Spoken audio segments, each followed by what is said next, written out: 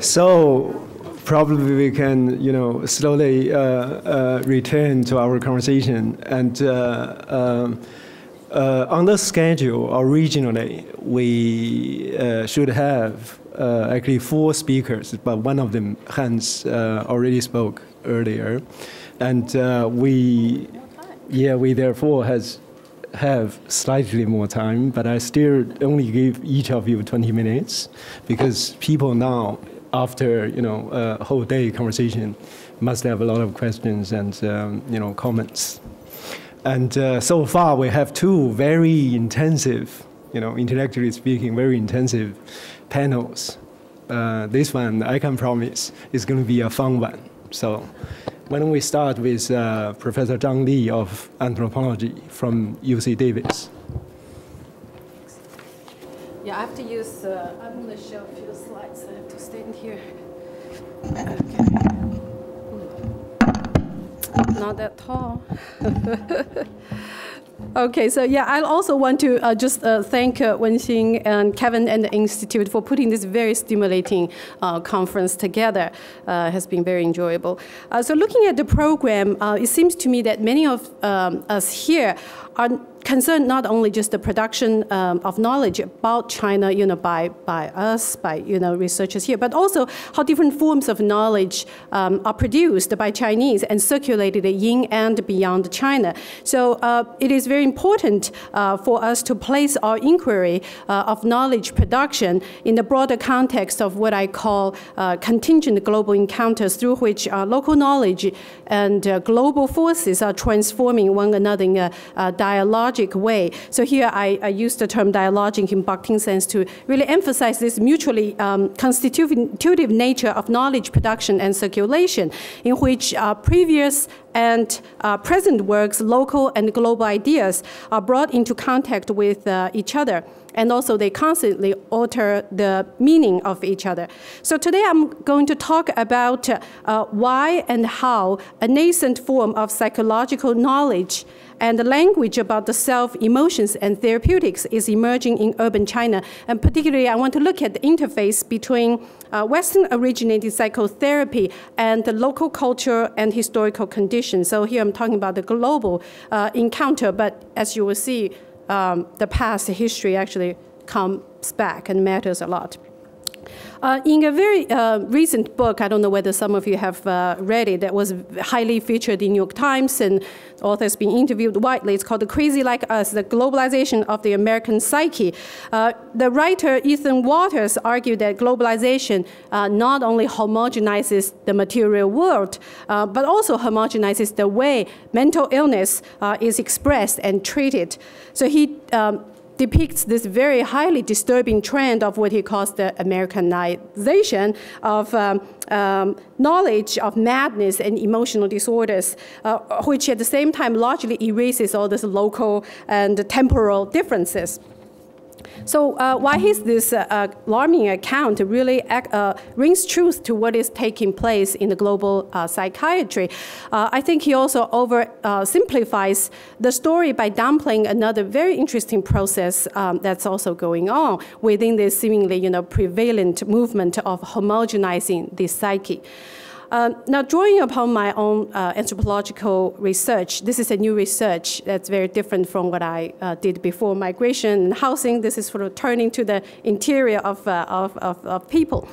Um, I suggest that uh, a much more complex dialogic process is taking place uh, as China encounters various forms of psych knowledge and therapeutic practices imported from the West. Um, just to give you a little bit background information, now faced with this increasingly uh, stressful and competitive life brought by uh, post-Mao market reforms, more and more um, urban Chinese middle-class people are actually turning to um, this emerging form of professional psychological counseling to grapple with their emotional problems and distress. Um, a key challenge uh, facing a lot of uh, Chinese practitioners uh, here, you know, the therapists, is how to culture these important psychological models, techniques, and language to fit their clients' needs, expectation, and cultural sensibility. Uh, so here I only have time to provide one uh, brief example to show how uh, these Chinese therapists claim an indigenous psychotherapy through the notion of fusion uh, by reinterpreting the cultural um, affinity between traditional Chinese thinking and Western psychological theories. Um, so why is that important? You know, why do we even bother looking at this question? I, I believe that um, this Bentuhua, you know, in Chinese called Bentuhua process, uh, might be able to challenge uh, the story told by uh, researchers like this Ethan Water, and might help decenter and also complicate the production of global uh, psych knowledge. So let me just turn to uh, this phenomena of the psych fever, uh, 心理热,心理咨询热 in China. Uh, so as you know, under Mao, mental illness was heavily stigmatized and oftentimes regarded as the wrong political thinking, right? That could be somehow corrected through um, forced labor re-education camp. So as a result, research and also uh, uh, teaching of psychology and psychiatry and clinical psychology in general was largely suspended. Uh, mental and psychological health awareness, however, began to reemerge uh, in the 1980s when China began to open up to the outside world. Um, so many things happened, but uh, let me just mention a couple of them. In 2005, the state-run Central TV uh, uh, station, CCTV, launched a late-night show called The Psychological Consultation. Have any of you watched it? 心理咨心理访谈. No, oh, fascinating. Uh, that actually has played a critical role uh, in popularizing psychological counseling and also reducing the uh, stigmas attached to emotional disorder. Uh, over the past uh, one decade, I think the, a nascent popular psych industry is also emerging in urban China. This is largely an urban phenomenon. So uh, numerous books have been you know, translated um, into Chinese and published, and Chinese writers are also writing about uh, things related to sort of self-help, psychological uh, uh, health, and countless websites. If you do any search in Baidu, you will see countless websites on psychological well-being and service are flourishing. They're flourishing and then popular magazines such as this one, um, uh, it's called the Psychology's Xinli, uh, are also gaining uh, readership. It's very popular, as you can see. It's, it's women, it's middle class women, white collar women. Um, international experts from North America, Europe, Japan, and Hong Kong are also frequently invited to lecture in China today on, on psychological topics. Now, the Chinese state also launched a national examination program in 2003 to certify uh, counselors and therapists. Now, this system, however, is very interesting. I don't have time to get into the detail, but it's built on very different model, a model that I call the speedy assembly line through which young uh, urbanites of diverse occupational backgrounds can uh, finish the required training courses within two to three months.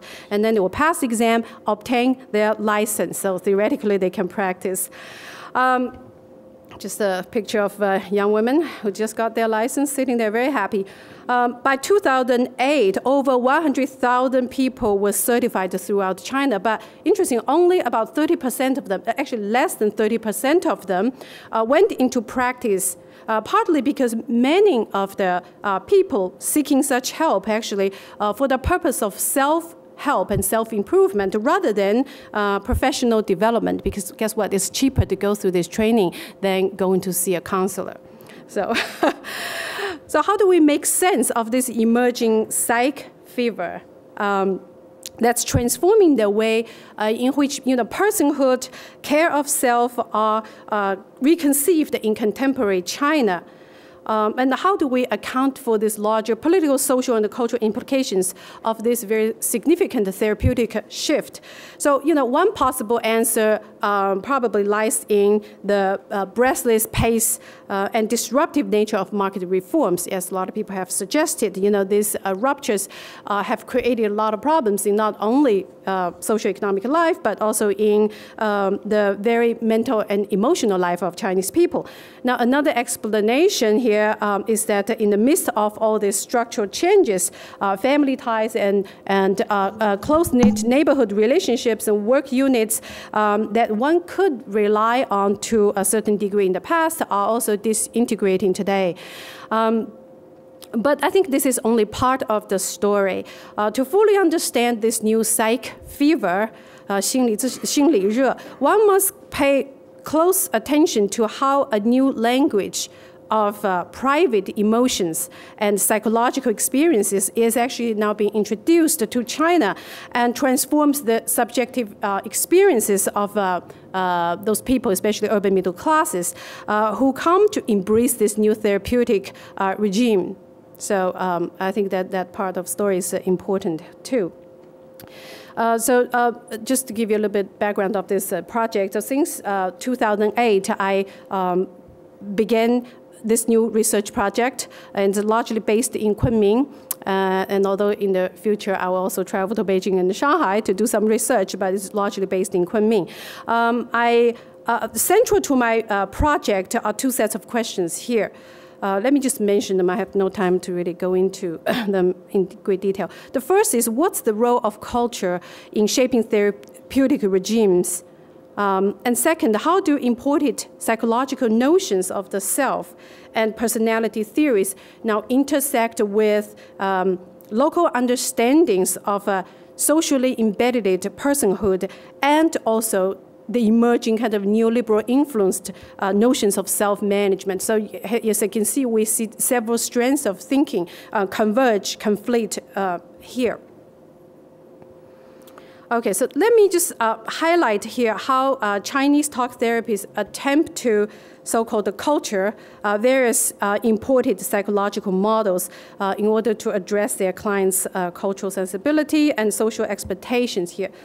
Uh, the, the, Chinese term 本土化, I, I, know many of you are very familiar with that, which can be roughly translated, I, I guess, to localization or indigenization, uh, is widely used uh, in and beyond this psychological context. Okay, so it's not just limited to this, uh, but in other cultural contexts as well. Now, this process of fitting uh, is widely recognized by Chinese practitioners as a necessary and challenging process involving um, creative thinking, uh, a lot of experiments, and deep understanding of both Chinese and uh, Western cultural histories. Now, while a broad range of uh, psychological theories and treatment models have been introduced to China today, if you go to the WIS websites, there are zillions of different kinds of approaches. Uh, three of them uh, I identify are most um, popular, uh, gained the popularity. Uh, one is the so-called the Satir family therapy. And the second is the cognitive behavior therapy, the CBT, you probably heard of that. And then the third one is sand play theory sand play theory. Uh, they are very popular, but they are also undergoing a great deal of uh, adaptations. So in the longer version of this paper, I uh, talk about in great detail the connection between the Satir family therapy and the so-called Chinese family. Okay, and then the kind of seemingly unlikely connection between CBT, cognitive uh, behavior therapy, and the socialist thought work. Actually, there, there's a great deal people can say about that, but I don't have time to go into the detail. But here, let me just talk briefly about the third example here, okay, namely how uh, Chinese therapists reshape this sand play theory in order to create a new brand of psychotherapy through uh, fusion. So uh, sand play uh, therapy is called the Shapan Youxi. Okay, it's a therapeutic model developed by a Swiss therapist Dora Kalff uh, now, the idea is through a free creative play and a visual uh, three-dimensional form, as you can see here, the therapist is able to access the unconscious uh, process of their client. And Chinese practitioners explained to me that uh, sand play theory draws inspirations from Chinese cultural elements. Uh, so Kalff, the inventor, uh, studied Chinese as a child and became keenly interested in Chinese culture, particularly Taoism and Tai Chi. And she later became the student of Carl Jung and followed his theory and thinking closely. And Jung himself, as some of you know, was also heavily influenced by uh, Chinese philosophy and religion, especially I Ching. Uh, a key person who introduced sand play theory into China is Professor Shen Heyong, now widely recognized as the expert uh, on sand play therapy in China. Um, Shen, as you can see here, a combination of uh, modern therapy and traditional culture. Um, Shen argues that there is a deep connection between um, this therapy, Jung, and Chinese culture, and this affinity makes it possible for further development of a truly Bentuhua psychotherapy that blurs the boundary uh, between the West and the East, the traditional and the modern. So, in the article titled Jung and China, a continued dialogue, uh, Shen details the profound influence of a German sinologist and translator Richard Wilhelm on Jung, uh, who uh, Jung, who later wrote uh, an introduction for two books translated by uh, Wilhelm, Yi Jing and The Secret of the uh, Golden Flower, Taiyi Jinhua Zongzhi. Uh, it's a very famous um, uh, book of meditation. So Shen has identified two important links between Jung and Chinese culture and Buddhism. The first is the, uh, it's a quote here, the mandala as a manifestation of the self's intrinsic ability to hold and thus integrate the unconscious in an individual way.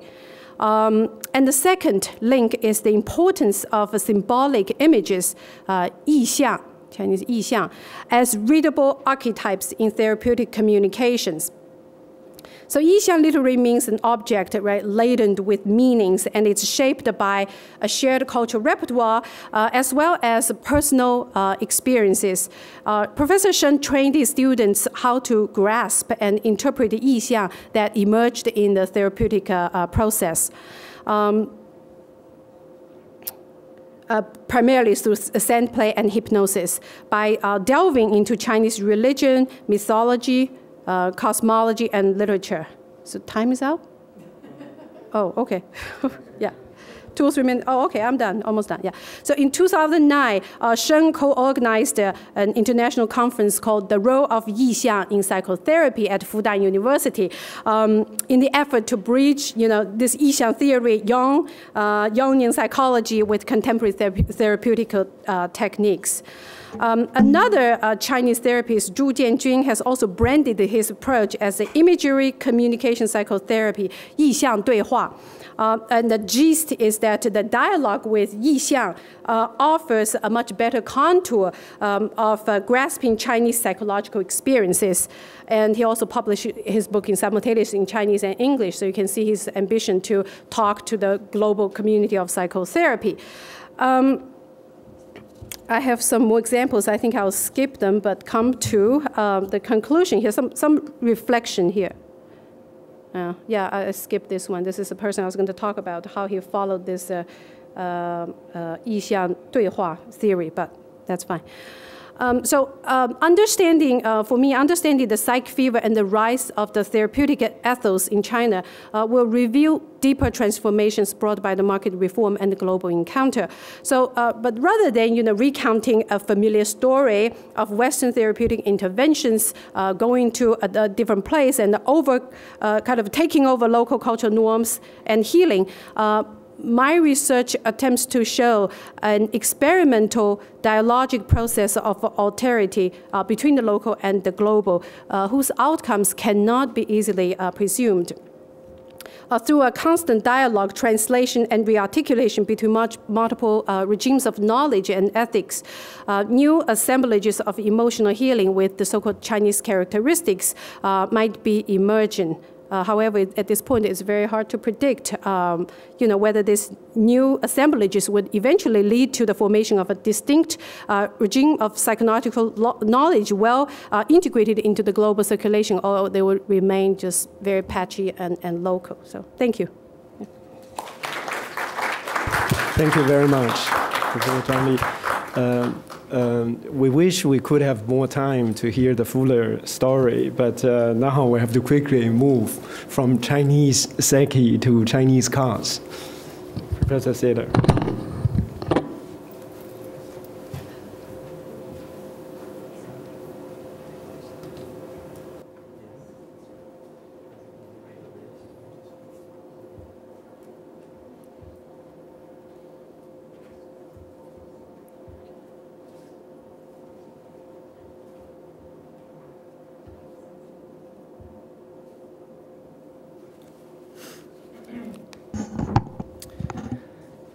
I'd like to thank the uh, Institute of East Asian Studies and the organizers of the conference for having me. And it's very exciting for me to talk to um, people in China studies and East Asian studies, um, particularly because I'm an Americanist, and this is sort of a new audience for me as I embark on a new project. And I should point out that the title of the, of the paper is actually Chinese Automobility and U.S. Rhetorics of Identicality not identity. Identity is actually maybe too slippery a concept for me to talk about. Identicality, sameness, is really what I'm thinking about in this paper. Um, and I'd like to begin just touching on a couple of um, uh, things that I've been thinking about all day, in particular, um, Wen-hsin Yeh's comment this morning that we need to really rethink the way in which the transformation of China in the past 30 or 40 years really has affected uh, the way in which we construct and disseminate knowledge and, and uh, of its history. And um, uh, also, Joe Esherick's thinking about the ways in which revolution and the revolutionary era is really, really important to understanding all sorts of things in China today, but particularly what I want to talk about, and that's infrastructure and infrastructural investments. So let me begin there um, by talking about uh, beginning in the early 1990s, uh, the Chinese government embarked upon a massive road building project to rival that of the United States, eventually to surpass it. Um, the United States has about a 47,000 mile interstate highway system. Um, China's planning 53,000 miles. Um, at present, there are about 25 or 26,000 miles of this highway. This monumental initiative is the official manifestation of the car culture currently being constructed by and for the rising middle class, especially in the booming coastal cities. So, what I see happening in China right now is the, uh, the assembly and installation of a system of automobility. Now, automobility is um, uh, a term that means sort of the, the dispositions, the landscapes, the legal infrastructure as well as the actual concrete, if you'll forgive the pun, infrastructure of the road system. Automobility is the emotions and the psychic investments in cars as well as the cars themselves and the spaces on which they drive. Um, so what I'm very interested in here is both the situation in China as it is, installs this apparatus of automobility and the perception of this installation to the rest of the world, particularly in the United States, and the way in which the visual landscapes and the practices of automobility in China construct a particular type of China for the consumption of American audiences, something that has politi political ramifica ramifications. Um, and what I'm looking at here is really the way in which automobility is seen to perform a sort of um, new missionary work in China, habituating Chinese people to the dispositions of what we might think of as modernity or as uh, Marc Augé calls it supermodernity. Um, what does this really mean? And so as I look at Chinese automobility, uh, I think about the chorus of voices that's asking around the world, what is this going to lead to? Both in environmental terms, but also and, and particularly in political terms. So let me just uh, sketch out a little bit about the way in which automobility is construed in the United States. And the slide up here, um, this is probably from about 1899. It's a slide called Scorching, in which we see the thrill of early automobility. And it's um, uh, one of the things I argue in my book, which is about automobility in the US, is that automobility in its earliest iteration is actually a feminine pastime, sort of a whirligig um, for the effete rich and therefore um, for, for the feminine. And here we see these two women out on a country drive, scorching with, with their trusty dog, of course, leading the way. And you can see the speed by the scarf going out here behind her. She's probably uh, hurtling along at a, at a clip of about 23, 24 miles an hour. So we know it's really exciting. And also um, driving as the act of citizenship. One of the things I argue is that um, driving becomes a performance of freedom and an emblematic act of American citizenship. This is deeply built into the infrastructures of automobility that have been laid out in the United States. And so, as Americans look to China, what they see is this sort of liberal citizenship um, being projected and also, along with the roads, being installed in the political culture. But also driving as one of the cardinal acts of the consumer as well. This is a, um, an advertisement, uh, it's, it's, actually on a roadmap for Shell from um, the 1930s. And what's interesting is that automobility becomes an index of China's assumption of what is to the United States, to American audiences, a creditable modernity. And this is Ralph Waldo Emerson, um, first from 1824. Um, sort of dissertating here on China's reverend dullness, its torpor and immobility. The closer contemplation we, we condescend to bestow, the more disgustful is that booby nation. I have no gift to see a meaning in the venerable vegetation of this extraordinary people. They are tools for other nations to use. Even miserable Africa can say, I have hewn the wood and drawn the water to promote the civilization of other lands. But China, reverend dullness, hoary idiot, all she can say at the convocation of nations must be, I made the tea. Um, later on, in front of an audience of Chinese diplomats, in Boston, Emerson is a little bit more decorous. He says, We had said of China, as the old prophet said of Egypt, her strength is to sit still before allowing but in its immovability, this race has claims. And we see this time and again. Um, I was very interested in Hans Steinmuller's presentation um, where he was discussing uh, mobility as some sort of index of modernity in everyday life in China. And we see this time and again as American commentators look to China and they want to see mobility as some sort of evidence, individual, volitional, autonomous mobility as evidence of China's modernity. Um, George Seward, uh, uh, in 1870, he was general consul in Shanghai at the time, in a letter to his State Department colleagues, confessed his scorn at a nation where nowhere could be found, among other things, quote, one carriage road. The average American or Englishman, Seward further noted, would be unworthy of the Anglo Saxon blood which runs in his veins if he should teach himself the Chinese habit of thought and to sit down to believe with the immobile mass around him that whatever is, is best. So, uh, Mark Twain, also in 1868, um, uh, commenting on the Burlingame Treaty, is very interested in the assumption of China of a railroad system. Even though he's sympathetic to the idea that the Chinese don't necessarily want an American imposed railroad, railway system comes in, he allows um, the railways must be built. Railways are simply a symbol of modernity. Um, the historian Grover Clark in 1935 wrote, Railways and motor cars, the telegraph, the airplane, and the other products of the West, mechanics and science, unquestionably are introducing new influences into, into Chinese life, but the basic conditions which determine Chinese civilization remain. So, what we see here is an overall assessment of cecility um, attached to China on the part of American observers. And this stretches all the way up until roughly a decade ago. Immobility, an inability to actually um, move forward, but also an inability of its people to move. The scorn oozing from these sentiments may be read as an emotive disguise for the anxious positioning of the United States at the far end of the continuum of mobility.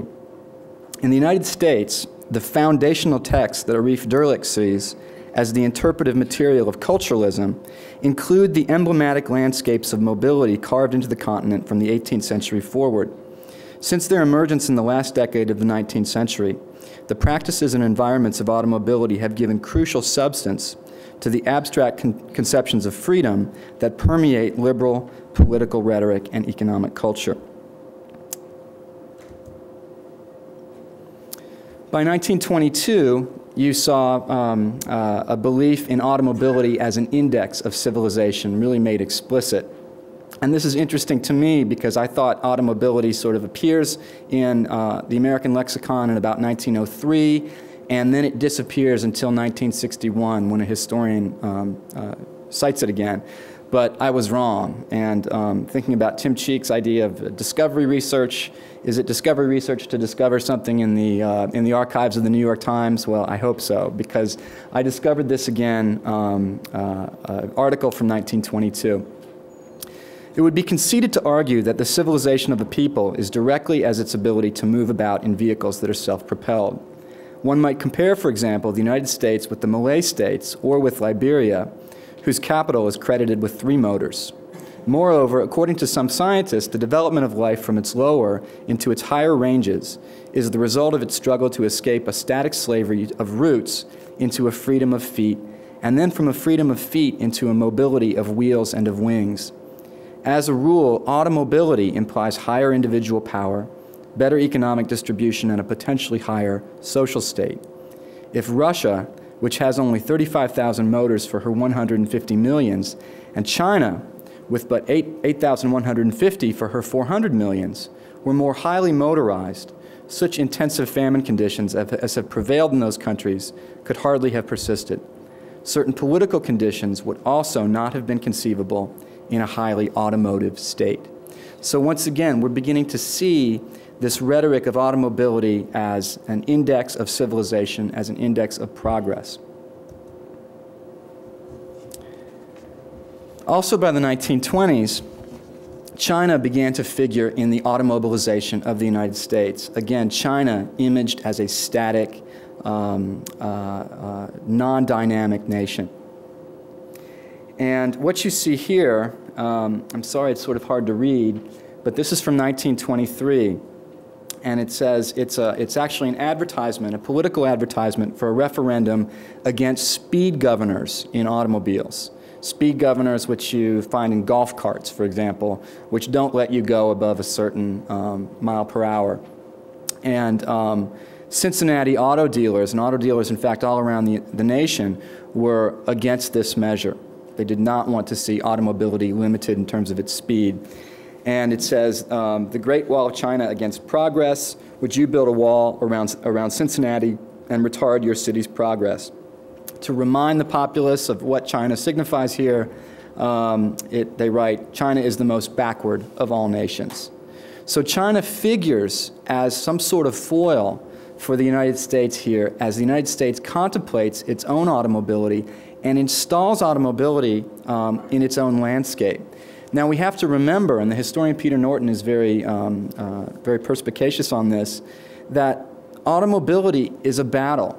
That the whole narrative of the love affair with the car, which is also now being constructed in China, um, was anything but a fait accompli, and that the automobile caused massive amounts of destruction and death, which we're also seeing in China now as it begins to become habituated to automobility.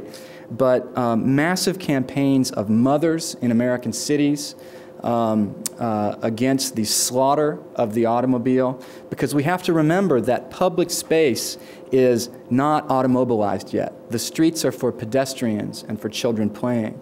They are not for cars. And the way the safety campaigns that we have, um, that we all had as children, um, are being installed in China now as that society is acculturated to the automobile, for better or worse. This had begun earlier, um, again, as I say, sort of China's assumption of a creditable modernity involved um, uh, the assumption of driving. From the 1913 uh, edition of the New York Times, Mandarins like motor cars now. They are slow customers but loyal to a chop or trademark, prefer brown cars some 800 cars in Shanghai, Um, and I think it's very interesting. We've had this conversation earlier about revolution and about Shanghai, but I think Shanghai and Leo Lee's book uh, um, is uh, very articulate about this is a city of automobility in which the automobile functions as a crucial symbol of modernity. By 1926, Ford was making its pitch um, to China. Uh, this car will allow you to save costs. The car has good handling. It's basically what the, um, um, I'm sure you all can, can read this far better than I, but uh, this car has good handling. Those who've driven long distances have used this car, which can take 12 to 16 people, and then the price. So, um, of course, Ford and other American automobile companies, in addition to British companies, are very interested in um, what uh, most capitalists in the West have always been interested in, which is the China market.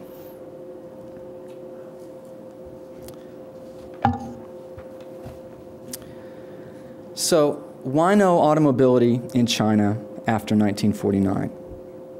Um, this is some, a question I'm very interested in, and I would certainly like to hear what you all have to say about it.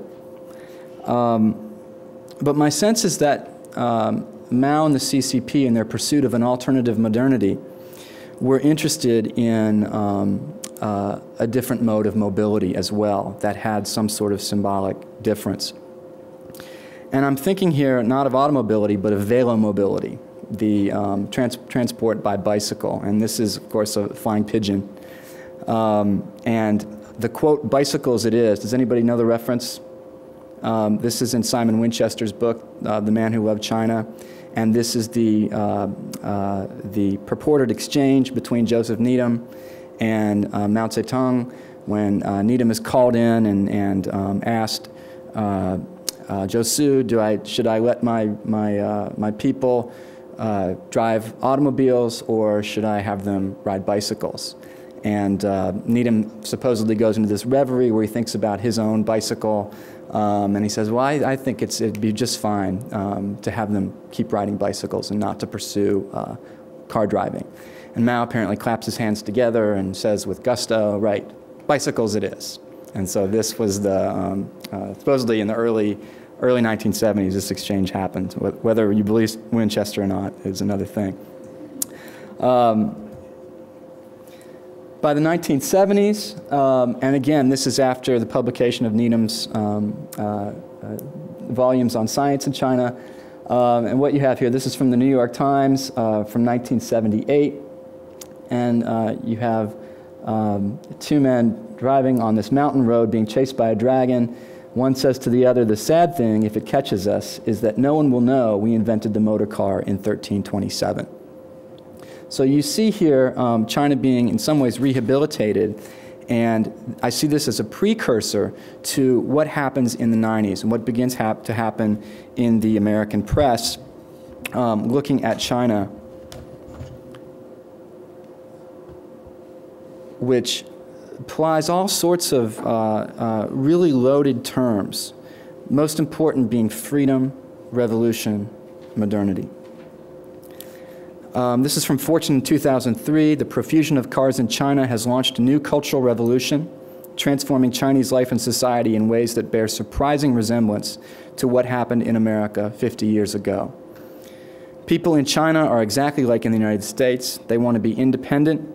If you look on the highways, they're all driving alone. It's stupid, but they're doing it. This is a Volkswagen executive quoted in the New York Times. And then finally, the idea is from America, and like America, China will also enter the auto, auto age. The young generation of China is seeking modernity from NBC News in 2004. So the reason I bring up these quotes is because what you see is, again, this positing of identicality. Um, a people and a nation that has been so radically and forcefully othered from the 18th century forward um, being rendered same. And automobility is the mechanism through which this happens. And what I see in the United States are these landscapes of compulsory automobility in which um, the joy and the pleasure and the thrill and the autonomy of having a car have been supplanted by the necessities of driving. And I'm thinking about this in terms of the possibility of um, landscapes of compulsory automobility in China. And I'll stop there. Thank you. Thank you. I just want, to make two very brief uh, comments and open the floor. Uh, one of the things, uh, although this uh, you know presentation is actually made in haste, uh, but one of these things, if we want to use the term identica- uh, I think in the 1950s it seems there was this true historical possibility for China to imitate Russia. No at that time at least uh, from this uh, Eurasian uh, uh, uh, photo show, we can see there is institutionally. Huh? Maybe any time, I don't know, but so but I said in 1950s, 1950s, probably early 60s you know, by that time, I think the people uh, uh, in China by that time probably could see a real possibility of being identical with the bigger socialist brother. So, and then you know, uh, today we can see. it seems that history has become so remote that possibility has become really a weird, you know, uh, historical error in, to, to many uh, intellectual uh, minds. On the other hand, uh, in the first two papers, uh, Zhang Li's and um, the paper on uh, automobile, automobility, I thought there is really there is a, a slight contradictory sentiment we can read out. Because in Zhang Li, paper, we see these possibilities of uh, you know Chinese tradition or Chinese culture or whatever things we can call it, um, in absorbing the world influence or Western, you know, or American, you know, whatever things that we call it, modern or global. China or Chinese people would be able to sort of uh, transform it, to take into into their own control and hand. But on the other hand, uh, if we think about economic development, if we think about uh, you know automobility, you know some kind of implication of freedom to be envisioned on both sides, then we see really in the future we probably see really a great uh, ident- identicality or really a, a similarity between the these two things. So this is actually one of the things, one of the things I thought uh, really interesting by this panel.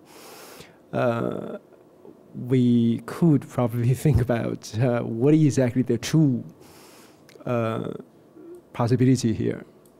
So uh, this is actually one one. Um, this is actually one, you know, from this uh, panel, I really want to make this comment. But in relation to this question, you know, to what extent Chinese culture could continue to function as really a local power in resisting or forming uh, or reforming the global influence.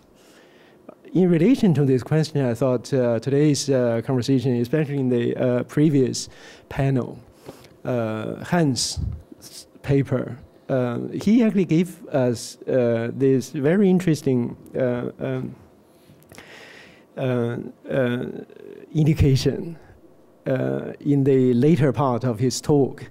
He said, you know, peasants actually now gain this power to play with you. No? If you just want to go there to talk about superstition, superstition and other sort of such categories, either official or modern, they wouldn't really have any problem in discussing with you by denying or negating those categories. No, there's not a problem. You know, every peasant, uh, in many ways, I think they are probably even more rational if you talk to them in abstract, official language. I thought this one, this one is actually really, for me, is really a very interesting question that is now uh, China poses for the world. If you now go to China to talk to Hu Jintao, we just saw his uh, uh, picture. If you want to go to talk to him about democracy, human rights, you know, the importance of law, I don't really think he has any problem in telling you China has really tried every possible means to set up all these institutions and uh, social norms. But the problem here is really the, the, the problem of practice. That's why I thought uh, the earlier uh, conversation um, uh, uh from, from this morning till now is really uh, what if now China has accepted, you know, in abstraction, all these categories and conceptions globally or modern, you know, conception, global or modern conceptions. How can we actually deal with this problem in practice? Still, I think there is a lot of things that when you go into a village, you know, today uh, we heard this um, uh, excellent, uh, uh maybe a very uh, optimistic you know, uh, paper from Jiang on how to do social sciences by the local people. I'm very sure, you know, in this kind of social science practice, uh, power, money, and many other things, corruption, or many other things will actually also happen. So this is actually the, uh, I think America or China probably produces a set of knowledge questions for us, no? What uh, Hans uh, uh, called uh, the second layer or second, uh, second, basically second order. Basically, here the representations themselves are no longer a problem. The problem is actually the play. Even the peasants, they are conscious of this, uh, you know, possibility of, you know, talking in abstract. Then in the concrete, in the concrete double sense uh, we heard, uh, in the concrete uh, practice, there may be a lot of problems that, uh, you know, um, political science or anthropology or Western social sciences uh, still need to uh, face, I think. Why don't I stop here and open the floor? Yeah. Uh, can we hear the questions first? Professor Seiler, about his paper? Okay, okay. Go ahead. In your last graphic, I think you had something about the Eisenhower interstate system, and I wonder, wonder if you don't want to include in your thinking on the new book what we have all this wonderful automobile system for. I mean, it was supposed to be Eisenhower saw the Autobahn and was impressed by the utility and the necessity of it for the U.S. for national security purposes. You're talking about the automobile the network as, as promoting consumerism or civilization or citizenship or whatever, but that's not what that interstate system was sold on the basis of and why it had the impetus. Isn't it, don't, don't I remember Eisenhower saw the Autobahn in, in Germany and saw what the use it had, and that's why we have it. That's part of the mythos of that. It's actually not. It isn't true? It's something I argue against in my book. Not in the paper, though? No, not in this paper, no. Um, One of the chapters of my book is on um, the interstate highway system in the Cold War and the way the thesis of utility and, and military utility in particular played into that. That, that actually got added on um, in 1955 as a means of uh, shepherding through the process. The reason I asked about this book is that it does have to do with why China is building these, besides just being able to build more interstate highways than, per mile, I mean by mile, than the U.S. has. I also disagree with that. I think it's, um, I think one of the keys is, is nationalism.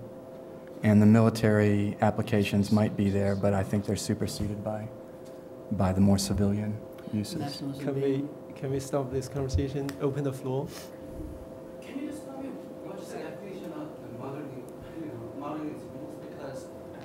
I just said, you know, I mean, can automobility define modernism? Because hey, you've been to Europe, right? You've been to Holland?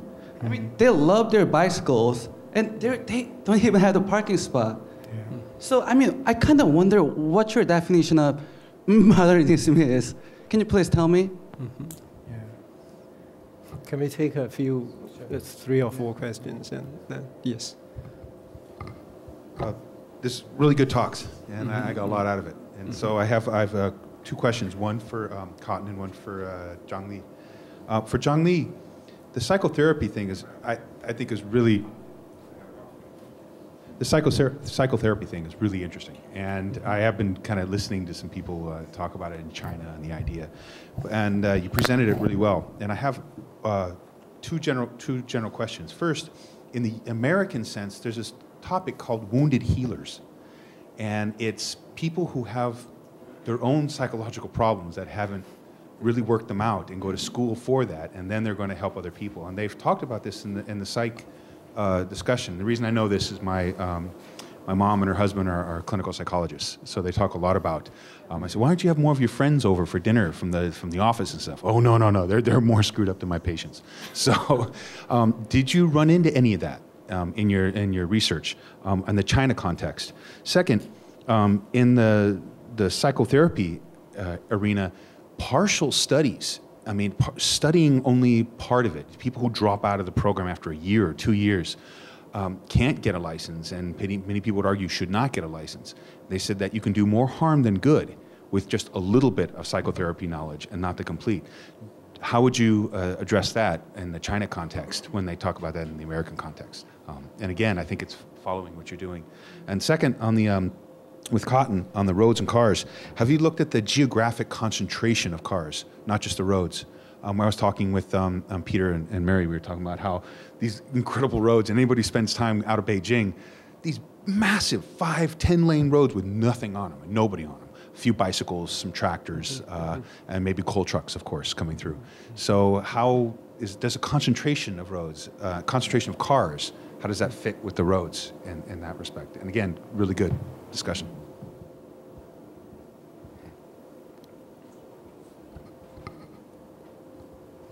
Just a, uh, a comment on um, cars. You might um, like to look at the 50s and 60s when Beijing was created as a car city. They tore down the city walls to create multi lane highways around the city. And the city was reconstructed on the basis of the motor vehicle.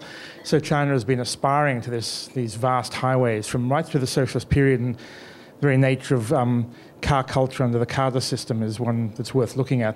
You might like to refer a paper to a paper I published 10 years ago called um, Wheels of Revolution in a book called Autopia, which is published by Reaktion Books. There's also a great Australian film on, um, on uh, the Bosozoku, or Bozos, or what are they called in hot rodders in Beijing, that just came out about two years ago, again in Australia by Stefan, somebody, an ABC movie you might find interesting because it's a very interesting sort of look at um, the car culture of Beijing today and the, the, the, notional violence associated with vehicles. Just a cute reference. And the, the word used for, for hot rodder is the Japanese word bosozoku and Chinese bozozu. You, know, you might find that useful. Mm-hmm. When, we, when we have two of them uh, respond, respond to this and then for the questions, please go ahead. yeah. yeah. Thanks, John. Uh, yeah, first question, of course, yeah, wounded healers are absolutely true in, in the Chinese context. And in fact, uh, a lot of the therapists I um, interviewed actually told me that how they started you know, the program or became interested is because they had their own problems. And then they went for the training. And then they felt very enlightened, and now they want to save other people. So it's a, almost like a religious salvation mission there. So it, I don't know whether they're more screwed up than, than the patients, but certainly they began with a lot of psychological problems with, with, with themselves. So that, that's there. And then the second thing, you know, a little training can probably do more harm than, than, than good. It's also absolutely true. You know, I, I oftentimes when I talk about this um, topic, I always say it's scary. And then people say, why do you say it's scary? I said, precisely the is with, with a little bit knowledge and they think they're capable of healing people and they go out to do that. But, uh, uh but in fact, uh, it's uh, vastly you know, underdeveloped their skill and it, it's scary in that sense. On the other hand, I'm very sort of ambivalent about this phenomenon I'm describing here.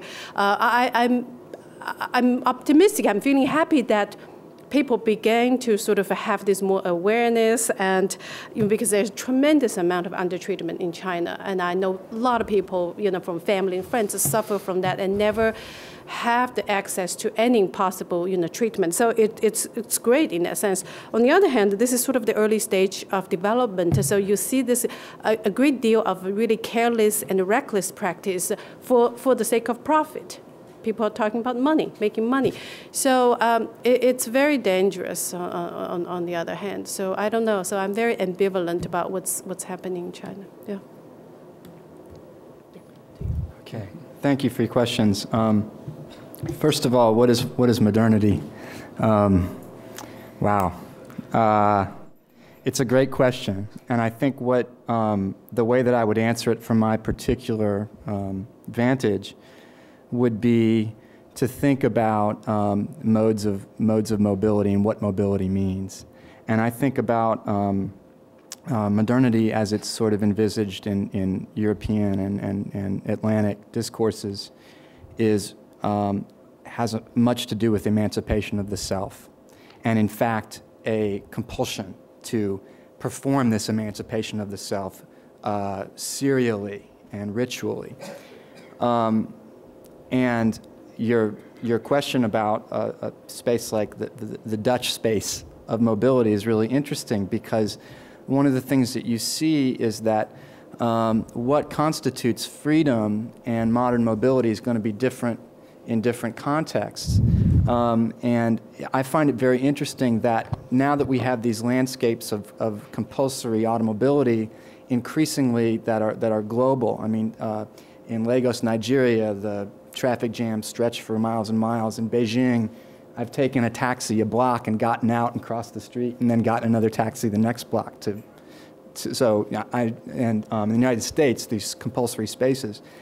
And now you find in systems, for example, in Paris, they have this bicycle rental system, and it's marketed as enhancing your freedom. And so it's a freedom from automobility as opposed to an enhancement of automobility. So one of the things I see, though, as maybe one of the characteristics of, mod of modernity is a political imaginary of competition that is sort of practiced through mobility. Um, but I'd love to talk to you about, about it more because it's a question I'm really thinking about. Yeah, thanks for your question.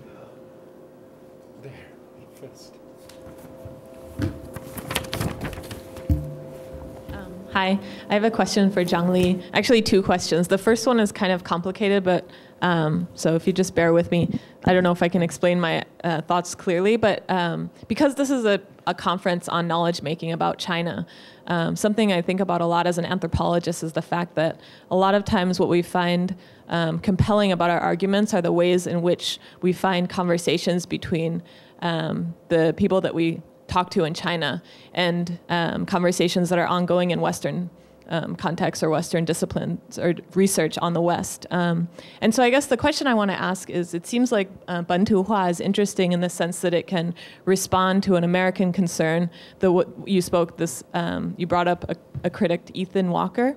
Watters. Yeah. Watters. Okay, so it's interesting for him um, to make a claim that um, there's an Americanization of the psyche or of psychiatric illness. Um, and bentuhua is interesting in the sense that it can um, be a counter argument to that. And so I guess I'm curious um, for the Chinese um, psychotherapists that you're talking to, do you think that um, why they find bentuhua interesting is interesting for the same reasons? Do you think that the concerns are the same from that angle? Um, so that's my first question. And then the second question, I'm very interested in whether or not because you brought up that one of the psychotherapeutic treatments was similar to um, thought work. And so, from my understanding, thought work is um, helping people get their thoughts to a healthy state that can be defined what that state is. And I'm curious whether in psychotherapy today, do you see a similar kind of singular concept of what health is in terms of um, thinking?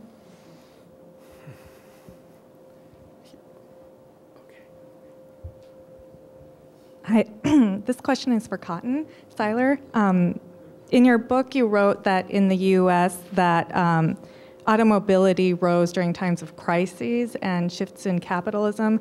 And I was wondering if you would be pursuing a similar approach in China, and if so, is there a crisis, and, and um, or is it something maybe a more positive development?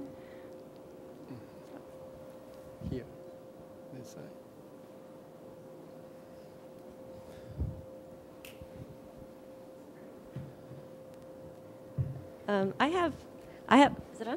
I have questions for each of the paper writers, and so I'll, but I'll try to be uh, very fast. And I have a comment about what Liu Xin said at the beginning about studying practice, and I think that's obviously not maybe obviously, but that's really important when we study these concepts we've been talking about and concepts that are in political science like rule of law or democracy or whatever. But I would also argue that practice and differences between institutions and practices exist everywhere, not just in China, and it's a you know, for example, for the legal system, it's actually a great thing to study because in every legal system you have corruption, you have, um, you know, institutions that don't work in in practice like they do in theory, and China's not an exception. Okay, so my questions are first, of, first for um, the automobility. I also agree with Jeremy that I think there is something. So I'm not sure what the book is about. If the book is about the United States sort of our identity or, or, our vision of cars then reflected on China by journalists who are American and who study, who, who go to China to report. Uh, that's one thing. But if it's more about the Chinese conception of what, an, what a car means, I think uh, the United States notions are not really that important. Um, they may, you know, be used by U.S. auto execs to talk about what they're doing in China, but I don't think for China itself it's very important. And I think it goes back to first this idea um, that started in this, uh, with the 1950s um, by the, the Communist Party and then was sped up in the 1980s is that an automobile industry is critical to China's modernization. And that's much more, I think, about Japan and Korea, uh, looking at how they, how they successfully kind of rose out of um, you know, inferiority to the United States to become competitive. The other thing, which is not related to the state but related to Chinese consumers of cars, when I, and I think about Chinese and, and Japanese uh, friends that I've known living in both places that Chinese consumption of cars is about personal freedom, but as that is not a political freedom. That's a freedom of, indu- uh, of yourself, of your body, um, and, and, and, maybe even more freedom from the family than, than from the political system. So those are just, I guess, some comments about. Um, I just remember living in Tokyo and everybody would have sex in the car because you couldn't have sex in the apartments. And I'm sure in China it's, it's the same thing. Um, my question to Li Zhang is very simple. I'm just interested in, um, because a lot of professions in China are competitive with lower level workers doing the same work. And this is the problem uh, in the legal system where you have competition between lawyers and legal service workers or legal workers. So do you see the same thing happening as psychology departments reopen, as social work develops in China? Is, are, you, are you starting to see competition between these sort of badly trained uh, counselors and more professionally trained um, um, academics or, or, professionals.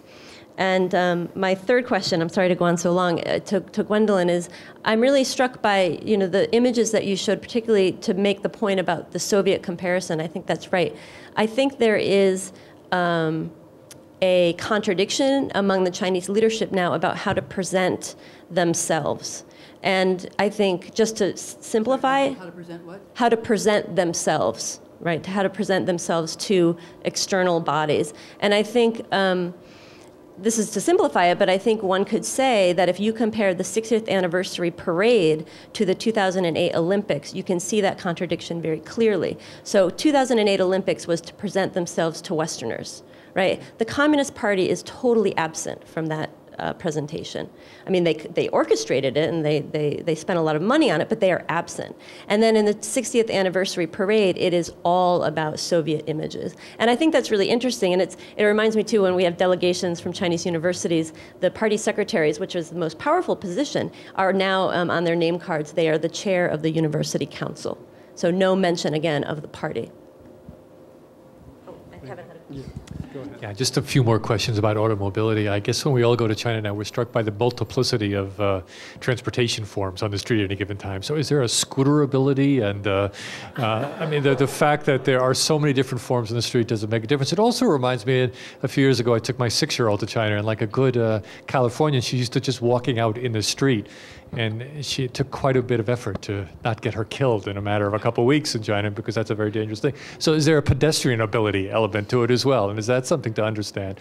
And then lastly, um, another thought that comes to mind is you're talking mostly about highways. And uh, I was just in a village in which they had just taken a, uh, a footpath and broadened it out to be a very narrow one lane road. And of course, that completely transforms uh, life up in a remote village up in, up in the mountains. So Uh, I was there for a village election, but the whole story was about uh, roads. Everybody was talking about roads, how many roads you built, how many more roads you're going to build. That's entirely what everybody was talking about. So I was wondering what, uh, to, to what part does small country roads play into your understanding of automobility in China? Why don't we let uh, three of them uh, respond uh, briefly? When, Okay. can we start with the, uh, the the end of the, when did you start? Yeah. Well, I mostly just wanted to thank you for your comments, and I'd like to follow up afterwards, if I may, with with some ideas with it. Thanks. All right, well, you've given me an awful lot to chew on there. Um, If I can sort of draw together um, this comment and this one, um, the answer is yes, I do see automobility in China as um, being promoted and sort of growing out of a crisis. And I very much see it as the crisis of legitima- legitimacy that occasions June 4th and, um, and follows after it. And I see it very much as, um, uh, to draw on Mary's question, as a way in, in which a hegemony restabilizes itself. Um, that precisely that type of freedom, um, the gamble is if you let people drive, um, they're going to feel free, and that freedom will ultimately um, be contained in some way through automobility and through consumption. And this is what I'm hearing whenever I um, talk to students from China. They talk about, you know, we talk about democracy, and they're like, well, we have, but we have roads now. We can drive cars, and we have, we can consume, and we have all these stores, and and they kind of don't don't make that leap. And I think if um, from, from the perspective of the CCP, I think the ability from the freedom of the road and the freedom of autonomy, of autonomy that you feel while driving, which are powerful sensations, as long as those can remain disarticulated from political liberalism and that type of freedom, I think it's a very safe bet. Now, one of the things I'm interested in in the United States is the way in which those, those two things are deeply articulated and seem inseparable. I think they are, I, think they're, they're coincidental rather than um, um, mutually necessary. And so I see um, the, the, the crisis of legitimacy um, after Tiananmen to be the sort of uh, the, the cultural, social, and political conditions out of which autom- mass automobility becomes a logical, a logical choice and a, and a good gamble. Um, Kevin, just very, very briefly, absolutely pedestrianism and the rules of, um, um, of good mobile citizenship, I think, are things that have to be created. In, in the United States, they're created um, by partners in industry and the state um, in order to preclude the type of regulation of the auto industry and of cars um, that the, the, the industry didn't want.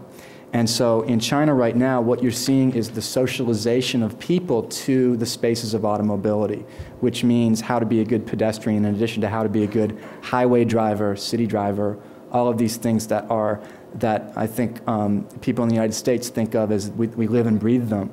And we forget that they were, there was a massive cultural undertaking to create this that really took place from about 1908 to about 1930. So I think that's happening now.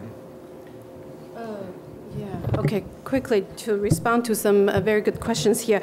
Um, first is the Bantu the question. Uh, you know, for me here, we're talking about it's more intellectual project, but uh, for the Chinese therapists, um, they are less concerned about this intellectual aspect, but for them, it's a practi- practical matter. Now, you talk to, talk to your patients about Lacan, about Freud, about the sexual oppression, all the stuff. Uh, they just feel, first of all, they don't understand. Second, it's very hard for their patients to, to talk about those issues. Uh, so for them, it's a practical matter. Uh, they have to make it understandable to their patients in order for them to come back. Uh, thought work and um, CBT, I just want to give you one interesting information. You know, during my interview, I found out a lot of those uh, uh, therapists actually their previous life um, they used to work in uh, colleges or schools as 思想工作 you know in college you have specialized in 思想工作政治思想工作 um, uh, uh, you know uh, lectures so they now they found this shift very easy and they find it makes sense, you know, how you change one's way of thinking. Uh, although there are some fundamental difference here, right? In uh, thought work, there's more top-down, you know, a party figures talking to you, and there is a more sort of a correct thinking. Now in CBT, uh, it, it, advocates a much more egalitarian relationship, and then the notion of mental health, what's health, is very individualized, so it's not necessarily a, a unified notion. But I, I, I, do find that very interesting. I'm going to dip, dig it deeper to, to find that connection there.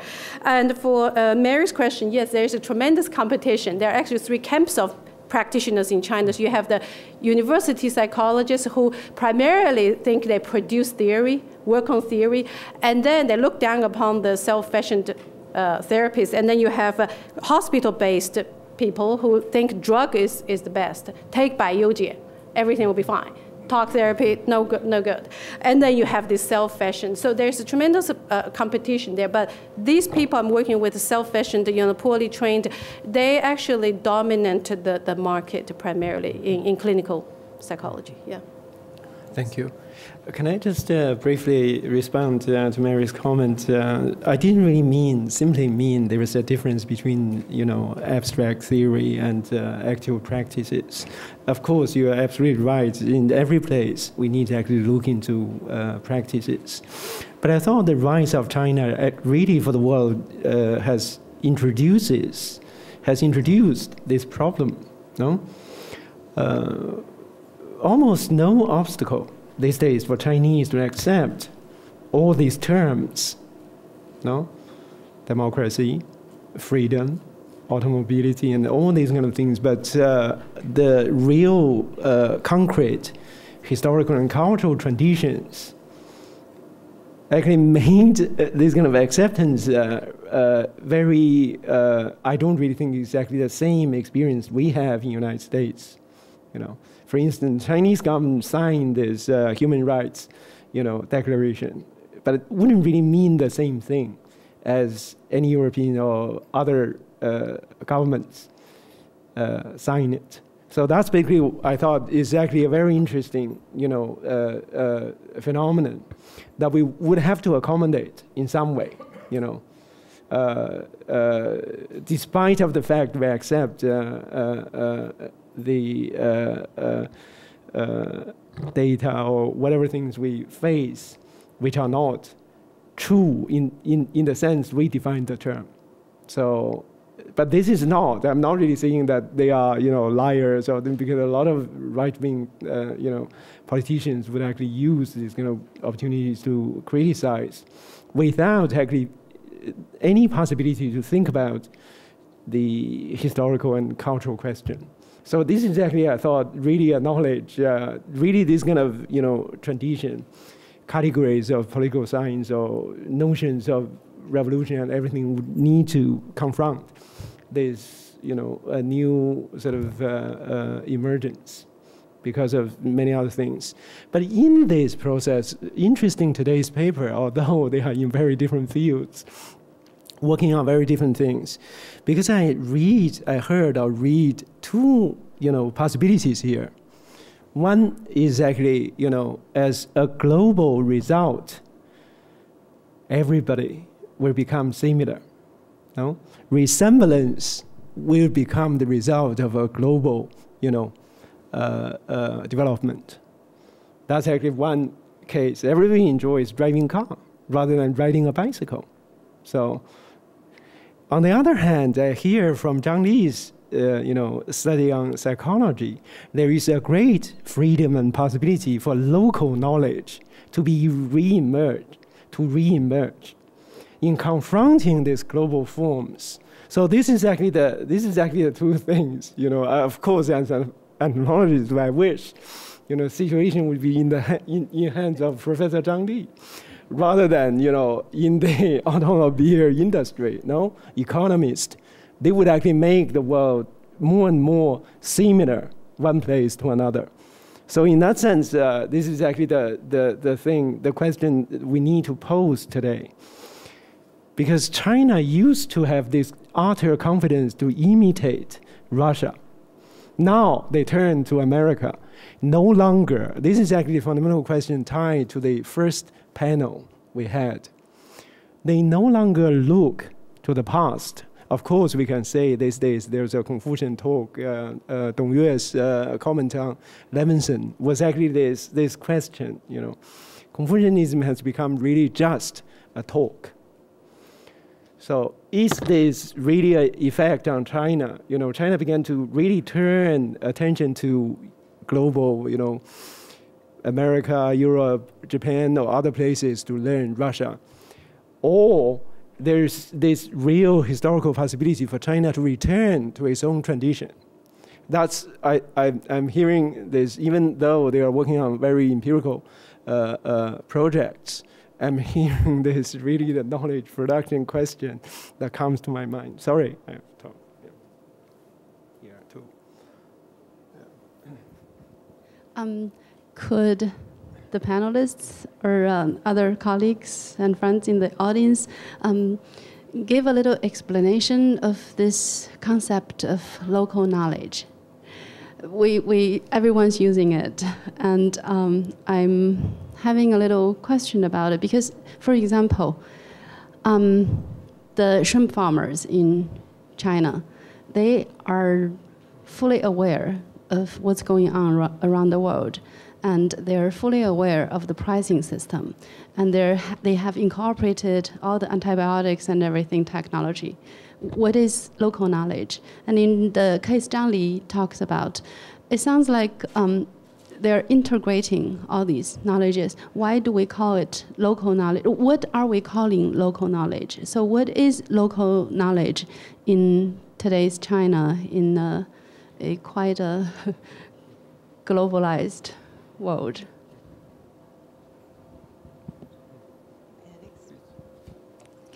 Um, I have a couple of questions, um, starting with uh, cars. Now, um, these are technological products brought into the Chinese context.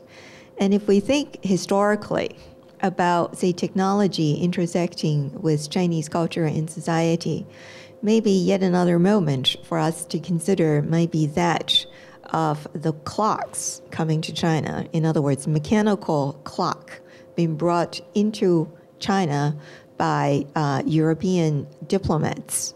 And uh, that happened as early as the 17th century.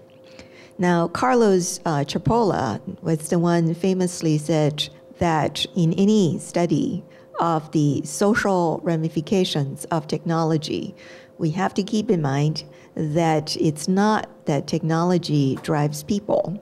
It's people who make use of technology and in the process of that, causing things to change. So, I mean, we've been hearing questions um, from the audience already about, say, there connections between, say, construction of highways and the concentration of cars? Going from there, we might also want to ask ourselves is it a safe assumption to say that all, cars are driven by car owners? In other words, ownership of vehicles and operation of vehicles are the same thing, are automatically the same thing. And the degree to which freedom or mobility might be associated more effectively with car ownership or car uh, uh, ability to operate these vehicles. And if you actually end up in a situation such as Hu Jintao, who certainly has disposal over uh, fleets of vehicles, in what way would this enhance his freedom or mobility in terms of this mediated, highly mediated relationship between the vehicle's owner and its actual operation. So, I mean, my point here is not to suggest that there is no way to um, to uh, elaborate on this presentation, but rather that uh, perhaps it's useful to think about how that these technological products are being utilized within socio-economic political uh, contexts uh, when the rubber hit the road, so to speak, in the Chinese case. and then, of course, uh, with regard to uh, this question about um, psychology, Zhang Li, I, I couldn't help um, remembering that Peng Kai-ping, for instance, who's been doing research in comparable areas, very often uh, would like to advance this thesis. Namely, if you take uh, sample groups of uh, people, Americans versus Chinese, as he puts it, broadly defined, that um, psychological tests would yield results to show that these are indeed uh, different groups of people, different cultural orientations, different kinds of things all together. So, my question to you is in some ways also that psychology as a system of organized knowledge as well as as a counseling technology, right? What does it produce anyway? Namely, the degree to which such technological intervention in itself, through its practice, it's likely to lead to a higher degree of sameness across the board between uh, the Chinese subjects that you've been interviewing and and uh, um, and and other people, or likely going to produce a higher degree of uh, differences as the kinds of things that Peng Kai-ping would like us to see. Now, of course, the um, the ramifications of such findings can be quite enormous in terms of offering a cultural foundation for the um, representation of a range of policies and um, especially cultural policies. And then finally, Liu Xin, I think that um, uh, your comments inspire me to think that we have been discussing uh, China, the way that China as a nation uh, behaves, um, conducts its affairs as a nation state. We have also been discussing the Chinese people, that is, as Chinese people, either as individuals or as collectivity, um, conduct their affairs. You raised the question about sameness versus differences across the board. And then I suppose uh, the one question I would like to add alongside with yours is the question of, say, the, the connections with regard to, say, sameness of Chinese people with people all around the world um, in a shared um, technological or global environment, whether such um, growing degree of affinity or sameness may or may not help us substantiate a position about China as a nation state and the likelihood of its development to become same or different historically, politically, culturally, intellectually, etc., with other nations. So, in other words, what might be the connections of our findings about people, right? And then this is, as um, Dong Yue has been saying, in people, along with local knowledge, is a very broad and ambiguous concept. So, what might be the connection in our research about the people versus, or in the context, or whatever, the nation? Thank you. Go ahead. Uh, just a, a, very small, somewhat tangential, tangential uh, question to Cotten. Um, I, I, was very struck by your noting the early uh, uh, advertisements for automobile in the United States as being directed at women. Um, and the women in those ads. And one of them said that advertising automobiles for recreation without humiliation, which I thought was a great line. Um, but I was wondering what humiliation are they escaping via the automobile? um, are, uh, my impression is that it's largely men that are driving uh, automobiles in China and whether. That is, that is a particular um, publication directed towards African Americans. That one, in, the, uh, in the Jim Crow era. Okay, okay. And this is a, a, a, it was a publication, a guidebook called Travel Guide Vacation and Recreation Without Humiliation, all of the covers, it ran from 1947 to 1957, all of the covers featured light skinned African American women. So it was the humiliation of Jim Crow not being able to eat at restaurants, stay at hotels, find mechanical assistants, etc. Of course, there's probably additional humiliations to be suffered by African American women on the road as well. So, thank you.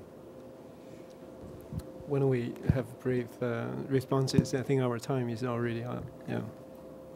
Please go ahead. Uh, do you want to follow up your question and I'll, I'll, I'll Okay. I, um, um, this is this is a wonderful question um, uh, about the clocks. I mean, I think this is something that um, social historians of technology refer to as diffusion theory. And diffusion theory is the belief that once a technology uh, gains currency, as it spreads out, it simply mimics the patterns of reception and consumption. I do not believe this about, about the automobile. And I think this is much closer to Julin's comments that as, a, um, as political concepts and structures and forms of rhetoric travel mm-hmm. to different contexts, there they, they themselves are transformed. Mm-hmm. And that the idea of human rights might mean something different. Mm-hmm. I think the practices and the meanings of, of, of automobility, and I don't want to restrict automobility just to cars, but the practices of cars, and, and to get back to, to Mary Gallagher's, Gallagher's question, it's never just about cars, it's also about roads. If you didn't have roads, then you'd have no substrate for automobility. Um, in terms of how it changes, is um, people who are chauffeured, for example, the, the, um, the bigwigs of, of the party. Um, what's interesting to me is in the 90s, there begin to appear in China um, what are called self driving tours. And the self driving is, is an important part of it because um, one of the things I, I see in automobility, and um, this relates to my colleague's paper here, is the promise of automobility is both the assertive presence of the self and a protective obscuring of the body. But also, what automobility means, what driving and ownership and enclosure in a car means, is a type of privatizing interiority that has cultural and, I think, political effects that I see related to the type of interiority that's being posited now in this therapeutic culture. So I, I, I see Hu Jintao as less autonomous for the fact of his fleet of automobiles precisely because he can't go out and drive and be anonymous on the road. Um, yeah, uh, let me just uh, start with uh, Dong Yue's question. That's a great question about local knowledge. In fact, um, in my longer paper, I actually have a whole section talking about local culture and local knowledge. You know, as anthropologists, that's a very sensitive topic, right? So, but I, I want to uh, say that I don't want to give an impression that uh, the notion of local knowledge is so unproblematized, as if there is this local knowledge untouched by the national and the global. And in fact, I'm trying to show is that any sort of so-called local knowledge is already transformed by uh, uh, this kind of global encounter and, and national forces. So, um, and, and also we have to look at the, the the picture, though, there is this question of power relation. Certain forms of knowledge somehow uh, gets to become global and universal. So in this context, the Western psych, uh, psychotherapy you know, knowledge becomes appears as universal and global. But I, I, talk about in the paper, if you trace the roots of psychotherapy, it's deeply cultured. It's local in a sense. You know, it has its local roots. Uh, but somehow in this process, this local roots and origin gets gets kind of erased and lost and appears as a global, powerful, universal uh, uh, you know, set of knowledge versus all those other local knowledges. So, but I'm trying to do is actually to deconstruct this uh, dichotomy uh, actually through the notion of this di dialogic is how the local and global are always integrated. But certain forms of knowledge have the power to appear as, as uh, uh, universal. Um, and I think well, I don't know how to begin with, but uh, uh, Wen-hsin raised a number of profound questions I don't even know how to begin to ad address. And also at the early stage of this research, uh, it is very hard to say, but I very much uh, appreciate those questions. I guess it's, uh, it would be interesting to see, you know, whether uh, as I uh, proceed with my research, whether the, the, the Chinese uh, therapists would uh, identify a more sort of a, a, a, distinct Chinese psyche, or whether the so-called Chinese psyche would become actually very much uh, similar to other psyche as we see. I, I, I, don't know, that's a great puzzle. I think a lot of uh, uh, Chinese psychologists are struggling with that. Um, but I want to give one example here. I think uh, this kind of therapeutic intervention uh, can be both empowering but also limiting. For example, the notion of depression, the diagnosis. Now, before, maybe 10 years ago, the clinical notion of uh, depression, 抑郁症, was largely absent. But now, people come to articulate their experience now through this notion of depression, particularly as they encounter this kind of psychological counseling and psychiatry. So it becomes a way of them to, uh, to articulate their experience. Now, on the one hand, it's profoundly empowering. Some people find a big relief that they finally have this category to explain to people that this is a real issue, a problem. On the other hand, um, it is. Um, it is very limiting because it already rules out other related experiences and, and, possible articulation. Now everything is kind of funneled through this notion of depression. So um, anyway, leave it there. okay. Thank you. Uh, uh, I just very briefly to uh, respond to some of these uh, uh, questions. On the local knowledge, I actually want to go back to Levenson's trilogy you know, in the first volume, he talked about uh, meaning versus vocabulary, no? Because uh, you certainly can produce meaning locally as much as you like, do whatever things you want. You see, I understand truth and democracy in my way, no? That's actually the meaning. Meaning is local, but vocabulary, psychoanalysis is never Chinese. It's actually some other people's, you know, vocabulary. So this is actually the, uh, I thought uh, your talk and Levenson actually suggested uh, this very, you know, interesting, you know, uh, thinking already in 1960s, how to think about global discourses versus uh, uh, production of local meanings. I can only indirectly respond to uh, Wen-hsin and uh, Zhang Li's um, um, her paper and Wen-hsin's comments because I really feel that uh, you know these days uh, um, uh, I certainly hope local people could actually have whatever they want, but it's actually not true. No, China was actually forced to get into revolution, no, to follow the Russian example, and now willingly, probably also unconsciously, forced to take up the cars, to give up uh, bicycles. So this transition is actually something that is really interesting for us to look into. Because of the global condition of material development, there is this possibility for us to intervene. This is actually, I want to end uh, this on a very optimistic note, but I don't really think exactly created by local people.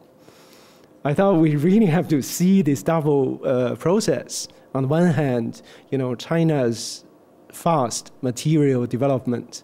In many ways, I think the development is actually a copy. I don't think you know the development is actually original historical development. I think it's basically a cultural borrowing. That's basically you know my you know after uh, Levenson's work, we can see China could only go on by adopting either Marxism now Americanism. So but on the other hand, on the other hand, I thought uh, because of the size and the material development now China presents to the world, it really presents also to us an opportunity. No. Although Kevin, you know, we have all these problems with uh, academic, uh, you know, uh, fragmented, uh, disciplinary, compartmentalized uh, departmental problems. But on the other hand, I thought now, you know, if you work on Brazil or some other places, Japan, you know, many students in anthropology, if you work on Japan or Korea, you would really feel very difficult to make your voice heard. But in the case of China, this, this condition is here. I think we need really, one of the things uh, uh, to respond to Tim's uh, talk uh, I don't really think it's exactly the time for us to talk about area studies or disciplines and so on and so forth and uh, ad hoc committees and so on. I thought one of the things we really need to do is actually to, to, to change this habit. China is not a place. China is not a country. China is not a nation state. China is not a people. Uh, China is actually now has becoming really a signification for the contemporary world. China is a symbol, I would say. China is a sign. You know, if we can really understand this sign, we probably really a means by which we can understand the condition of life we live. That's basically what I feel the significance and the whole, you know, uh, uh, producing knowledge uh, conference uh, uh, means for me at least uh, for us. So how can we actually turn really a, academic habit into some other directions? We don't really talk about China in terms of a nation state or a place, but rather in terms of a symbol, a copy, a fake copy, probably in many ways, in terms of material production. I thought this habit is, is, on the one hand, is actually a habit in China, but also, on the other hand, is a habit already, you know, a habit, a habit of our academic hearts. So that's, you know, uh, any of you last words? mirage as your books. no, so uh, thank you very much for coming, and uh, why don't we continue the conversation outside?